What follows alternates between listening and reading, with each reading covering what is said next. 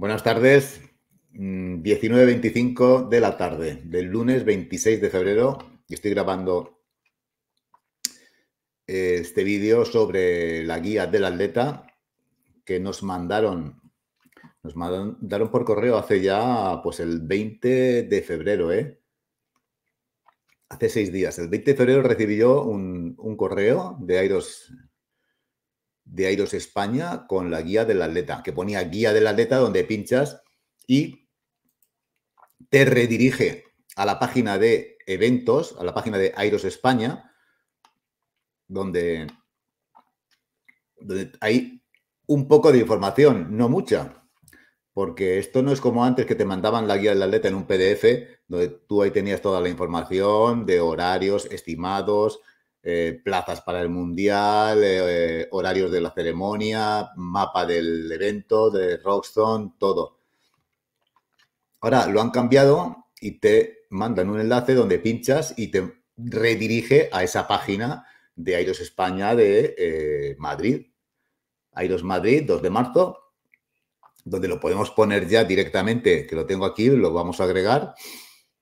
Yo me quedo fuera, un poquito al lado, y vemos, esta es la página y además es curioso, me voy a meter en la página, vamos a ir viendo. Airos Madrid, 2 de marzo, Airos Comunidad de Madrid. Ven, aquí lo vemos que está todo en español, castellano. Sin embargo, bajamos y, y el resto de información ya viene en inglés. Es una cosa que no entiendo. No entiendo. No entiendo que Airos Madrid, en la página de Airos España, no venga en español, en castellano y esté toda la información en inglés. ¿Alguien me lo puede explicar? No tiene ningún sentido. Pues nada, aquí está.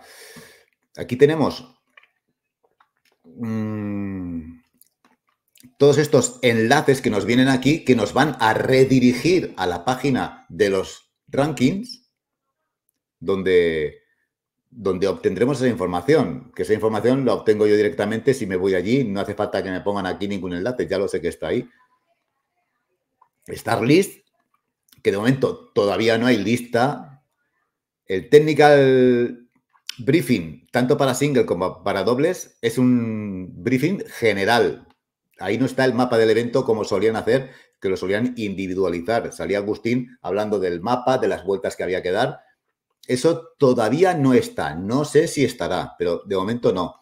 Los slots para el Mundial, las plazas para el Mundial, tampoco están disponibles. Si pinchas ahí, te redirige, pero están las de los eventos pasados, de Miami y de Polonia.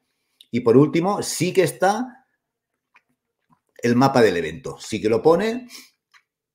Y ahora después iremos a él. Vamos a seguir con esta página, viendo la información que nos da todo en inglés, por supuesto, y que ya estamos acostumbrados, pero mm, no sé por qué no está en castellano. Aquí está la hora del check-in dependiendo de la categoría, que todos sabemos que tiene que hacerse siempre una hora con máximo, una hora antes de tu hora de salida. Ahí están las distintas, no lo vamos a ver, porque luego tenemos los horarios de salida. Vemos que, que se va a celebrar en el IFEMA en el pabellón número 3. El pre-check-in del viernes, ojo, ojo, porque es el viernes 1 de marzo, de 3 y media a 6 y media, pero no es en IFEMA, ¿eh? es en el Fitness Park Príncipe Pío, Paseo de la Florida 2, Moncloa. Ojito, ¿eh? Porque ya me pasó a mí el año pasado que fui a hacer el, el check-in en IFEMA y, como había hecho anteriormente, y era en Príncipe, en Príncipe Pío, no, ya no sé dónde era, ¿eh? era, era, en Findespar también. No sé si era Príncipe Pío o era otro sitio. Yo creo que era otro. Bueno, el día del evento, el check-in es el 2 de marzo a partir de las 7 y media. Hay que llevar el código que nos hemos personalizado. Y la hora de comienzo del evento es a las 9 de la mañana con los dobles. Dobles masculinos que estaremos nosotros ahí, Pepe y yo, al pie del cañón cuando nos digan el horario. Las vueltas por, eh, kilómetros, en teoría. Kilómetros que no van a ser exactos, por lo que veo aquí. En el kilómetro 1 vamos a tener que dar tres vueltas completas. Sin embargo, perdón, de los kilómetros 2 al 8 son dos vueltas y media, 2,5 vueltas. Por lo tanto, no, es, no son kilómetros exactos. Eh, los eh, del relevo deberían estar a partir de las 7 de la tarde en la zona de transición. Y aquí están los horarios provisionales de las distintas categorías, así como el horario de la ceremonia de esa categoría. ¿eh? Dobles masculinos a partir de las 9, ceremonia a las 12 y 25. Aerosmen a partir de las 11, ceremonia a las 3 y 5. Airos dobles mixtos a, las, a la 1.50, 2 menos 10, ceremonia a las 4.45. Airox Pro dobles femenino a las 3.30, a partir de las 3.30, ceremonia a las 4.55 de la tarde. Airos, Airox Pro femenino a partir de las 3.40, ceremonia a las 5.25. Airos dobles femenino a partir de las 4, ceremonia a las 6.55. Airos femenino a partir de las 5.30, ceremonia a las 8 y cuarto. Airox Pro dobles masculino a partir de las 7 y 10, ceremonia a las 8.55. Airos Pro Men a partir de las 7 y 20, ceremonia a las 9.25 ya de la noche. Airox mixtos relevos a partir de las 8 y 20, ceremonia a las 10.25. Relevos masculinos a, las, a partir de las 8.30, ceremonia también a las 10.25. Y relevos femeninos a las 8.40, ceremonia a las 10.25, como hemos dicho en los otros relevos y ya está. Nos darán un parche, eh, tendremos el tiempo en la pantalla y poquito más. Poquito más. Y aquí vemos la localización del evento, que es en el IFEMA de Madrid, IFEMA. Recordemos que hemos dicho que era el pabellón 3. Por lo tanto, hay que entrar por la entrada principal, no por como el año pasado que había que entrar mejor por la de atrás porque estaba más cerca el pabellón. Creo que era el 7, si no me equivoco. Y ya está vamos a quitar esta página que mm, no nos ha aportado demasiada información, la verdad. Antes sí que venía mucho más completo todo. Ahora, casi casi hasta, hasta dos o tres días antes del evento no tenemos la información más interesante. Vamos a agregar el mapa del recinto con la Rockstone y vamos a eh, analizarlo un poquito. Yo me voy a quitar de en medio para que salga todo correctamente. Tampoco hace mucha falta. Así que lo vamos a agregar. Mira, me voy a quitar, pero totalmente. ¿Qué parece? Mejor, ¿no? Pues una vez que lo tenemos ahí, lo analizamos. Vemos que la salida está abajo a la derecha, está la zona de salida. Y en el primer kilómetro, en el primer kilómetro deberemos dar tres vueltas. Tres vueltas completas. Tres vueltas completas y entraremos por el arco amarillo del IN justo en la esquina o antes de la esquina según está aquí eh, marcado. Aquí tenemos los ejercicios. El esquí está justo en medio del recinto, un poquito a la izquierda. El sled push un poquito más a la izquierda y el sled pull, los dos trineos a la izquierda, la parte izquierda. Y luego ya los restantes están eh, el bar al lado del esquí, antes de llegar al esquí, el remo justo a la entrada, Falmer Carry justo a la entrada, zancadas justo a la entrada y vuelvos ya un poquito más al centro para terminar. Es curioso, es curioso esto porque vamos a entrar por la esquina inferior derecha y saldremos por la esquina inferior izquierda. O sea, retrocederemos por el interior del recinto y nos volveremos a incorporar en, al exterior en un sitio que, en mi opinión, no es muy adecuado porque está prácticamente en la curva. Ya veremos cómo está distribuido. Otra cosa, una cosa es cómo esté aquí señalizado y otra cosa es cómo sea el evento que esté tan cerca de la esquina, pues eso quiere decir que ahí puede haber un pequeño conflicto con la gente que viene corriendo y los que salen. Vamos a ver, ¿eh? Vamos a ver cómo se desarrolla todo. Yo lo hubiera puesto un poquito más, no tan a la esquina, sino más metido en el interior de la calle. Y tampoco entiendo, he estado pensándolo, el motivo por el cual entras por la esquina derecha y sales por la esquina izquierda, retrocediendo. No sé por qué no entramos por la esquina izquierda y salimos por la esquina derecha. Evitaríamos muchísimos conflictos de entrada y salida. Creo yo, creo yo. Y realmente eh, los metros serían los mismos a recorrer. Tanto si entras por un lado como si entras por otro, vas a recorrer los mismos metros porque es al contrario, es lo mismo. Entonces, no entiendo por qué se entra por aquí y se sale por aquí. Quizás para completar los metros correspondientes al primer kilómetro, que se va a hacer un poquito más largo. Y eso es lo que tiene que, completar el, recorrido total de la prueba. ¿eh? Lo desconozco, pero es lo único que se me ocurre al estar la salida puesta en este lado.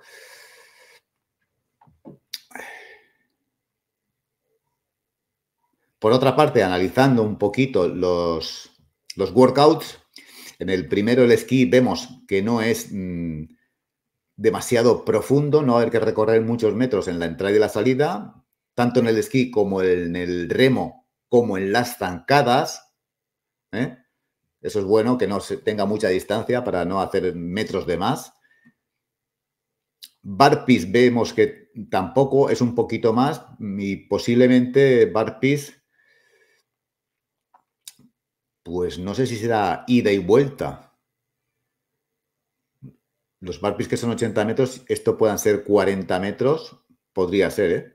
Ida y vuelta y las zancadas que sean 200. Eh, Aquí sí que va a haber, eh, o sea, 200, 100. Aquí sí que va a hacer por lo menos cuatro, dos veces ir y dos veces venir. Creo yo, ¿eh? Dos de ida y dos de vuelta. Y, luego los trineos, bueno, pues los trineos bien, normal, como suelen estar.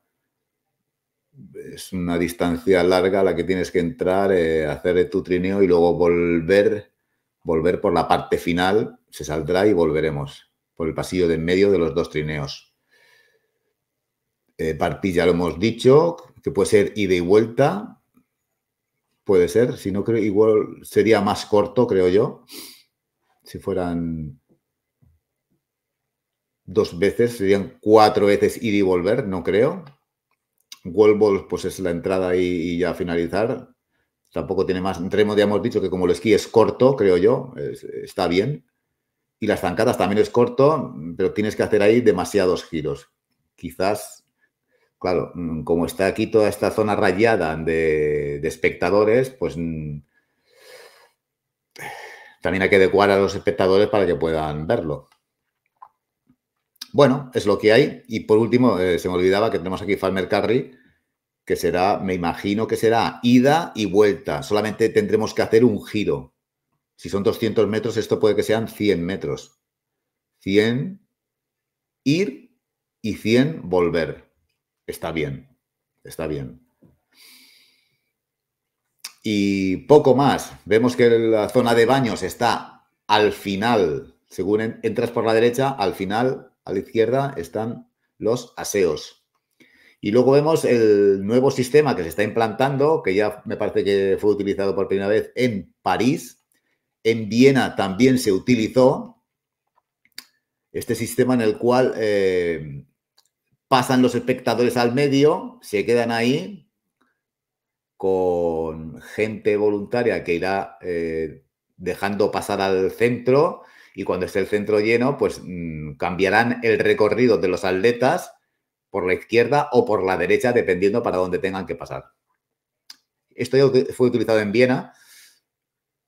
No fue mal del todo, creo yo. Si te vas para la derecha, recorres unos poquitos más de metros. Aquí quizás está demasiado, demasiado en la esquina, por lo cual si te obligan a ir por la parte de la derecha y luego tienes que tomar la curva, serían eh, algún metro de más. Y a lo mejor es un poquito más incómodo y más largo. En Viena estaba más en el centro, en el centro del lateral, por lo cual, una vez que habías pasado eh, los espectadores ya volvías otra vez a, la parte izquierda interior o a la parte donde estaba la, línea que delimita lentos, rápidos o zona de adelantamiento. Y pues quizás en el centro estaría mejor. Pero en fin, es lo que se me ocurre a primera vista y poco más. Ya hemos dicho. Mm, hola, hola dos veces, tres vueltas el primer kilómetro y luego dos vueltas y media los restantes. Esperemos que no haya ninguna confusión, para que no haya penalizaciones. Mucho ojito con esto, ¿eh? Pues nada, por mi parte ya está. Solamente voy a recordar también en los últimos Airos que se han celebrado en Miami y en Polonia. Ha habido alguna marca interesante de los pro, por ejemplo la de bueno, lo tengo aquí, la de Dylan Scott, que hizo 55-34, que es un marcón de mucho cuidado. Creo que es el tercero o el cuarto mejor tiempo de todos los tiempos. Eh, muy bien, muy bien Dylan Scott. La verdad es que hacía tiempo que no hacía una buena marca en individual, ¿eh? Estaba un poquito ahí rezagado y, esto lo mete de lleno. Aunque no está clasificado, ojo, ¿eh? esta marca no le clasifica para el Mundial. Pero bueno, ahora tendría que repetirlo en el mayor de esta semana que viene en, esta semana que viene en eh, Washington, si no me equivoco. En Irox Pro también masculino en Miami, podemos decir que ha habido otro récord del mundo en la categoría 50-54, donde estaba Ismael Mateo, que él tenía aquí el récord. Este mismo señor, Tim Snee, se lo quitó por dos segundos y él ha vuelto a rebajar su tiempo, unos cuantos segundos más, una hora, nueve minutos, dos segundos. Lo ha dejado. O sea que se mantiene ahí. Ismael y Simon Passmore tienen que estar atentos a, este señor estadounidense para el Mundial. Y también eh, podemos decir en categoría 55-59, un americano Glenn Waters, pues con una hora 12 una hora, 12 minutos, 41 segundos, también establece un nuevo récord del mundo, que lo tenía Franco Duya, el alemán, actual campeón del mundo. lo tenía un poquito más, algunos segundos más, me parece, y lo ha batido, lo ha batido. Por lo tanto, enhorabuena. Yo con este no lo tenía en mente. ¿eh? Eh, era mi anterior categoría, pero debe ser nuevo también. No lo tenía localizado y poco más, ¿eh? Bueno, poco más no. Eh, aquí en Miami sí que tenemos que decir, vamos a decirlo, por favor, en dobles mixtos, vamos a ver en la pantalla clasificación general, donde primero Pelayo Menéndez y Elena Rouco Chas con 56-44 ganaron esta categoría, se han clasificado para el Mundial. Su grupo de edad era 30-39, pero es que los segundos eran 30-39 y los terceros 30-39. Los segundos quedaron a 16, 17 segundos escasos y los terceros a 33. Ojo que estuvo complicadísimo, ¿eh? muy, muy, muy ajustado. Ganaron por poquito. Además salían en tandas distintas.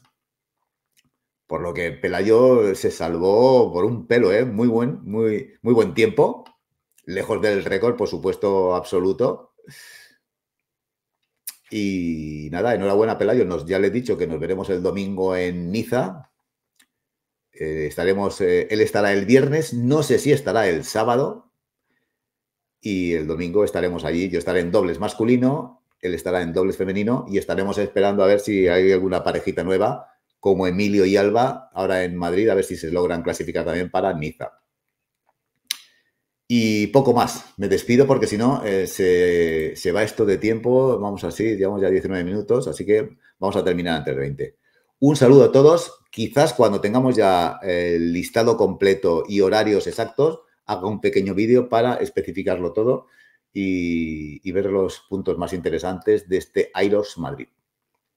Un saludito a todos y no perderos las entrevistas porque están muy bien tanto la de David Rojas, nutricionista, como la de Miguel Ferrero, speaker, que saldrá el miércoles. Un saludito a todos. Adiós.